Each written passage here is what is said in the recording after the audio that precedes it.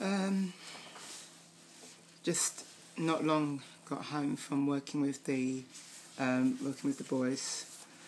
It's um, on a Thursday we just do an hour session um, of small-sided games um, with some conditions. Well, not not with conditions, but I, I place focus points on on um, the play. So um, today, what I did was um, we had six seven minute games and um, a point for a focus point for each um, second game. So the first game was free play without me um, giving any sort of feedback, and then the second game, uh, I, I, made it a little bit more intense um, with a focus point of um, your first touch taking the ball forward. Um, second game focus point was um, use the pivot player, so we had a 4v4 with a pivot player, so you had an overload. Um, to try to use a pivot player to combine to go forward. Um, third focus point was to um, pass through the pockets, so identify the pass that you can make in between the defenders. Um, so I, I, I, I, would use a, um, a key word which would just be pockets, pockets, so they have to look for the pocket to play the pass. And obviously, the defending team have to then try to restrict those opportunities for them. So no spaces would be the instructions to the opposite team. Um, it's it's good. It's the training sessions are usually okay with the boys. You know, they um, they work hard. They do. They're good guys as well. Um, the parents are very very enthusiastic. Really pleased that there's um, a clear structure to what we're doing as well. Um, I think the reason I'm so tired is just because I'm I'm doing a lot of um, driving around at the moment with the with the coaching, and it really does take a lot out of you. Um, tomorrow I've got an interview um, with Chelsea. Hopefully they'll put me into a college. Um, so I've got that interview with that college tomorrow morning at 11 o'clock, so I have to plan my session now.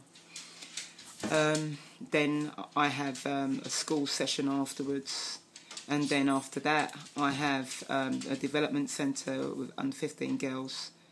Um, so, you know, the under 15s girls session, I don't even know if I'll have time to plan that one. So, just running out of hours in a day at the moment. Um, but, you know, that's the, there aren't many um, other options really. So, I, think a lot of coaches will be in the same position that I'm in with just constantly, constantly chasing your tail. You know, you just can't find enough hours in the day. Um, it's a good thing to be busy with. It, it's good to be busy with football, with soccer, with with working with players. Um, but it would be nice if it was just one full time job, so you didn't have to spend so much time driving from place to place and half the time I can't remember where I'm meant to be going or who I'm meant to be w- working with. you know, so that's a bit bad. Um, but I, I, do like working with the boys. Um, I think one of the things that I'm concerned about for my interview tomorrow is that it's a boys under 18s side.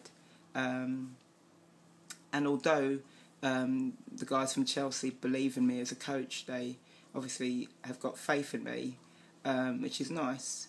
You know, um, I, I'm I'm sensing that there may be a case of a little bit of opposition from the um, the setup that they're looking to place me into, because you won't have that many um, places where you'll see female coaches working with males of that age.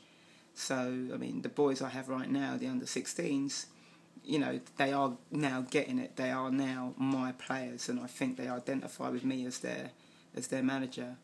Um, but being realistic, uh, I think the transition for male coaches into the female game is far more accepted and readily um, commonplace.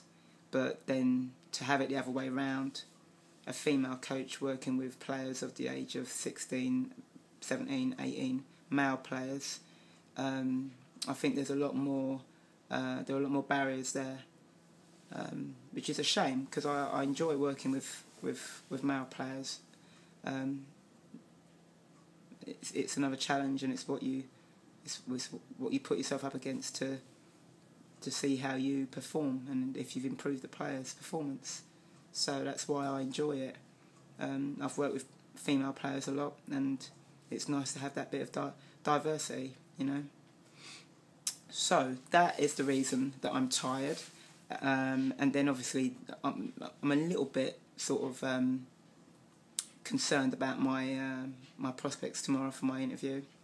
Um, and now I have a session to try and plan. So tomorrow will be the best defenders against the best attackers, and I'll make it a phase of play. So um, attacking through the middle third that gives an opportunity for the attacking players straight away to be up against the um, defensive players, and then least you're getting into your topic and you should get your points out there. So that's what I'll be looking to do in the interview tomorrow.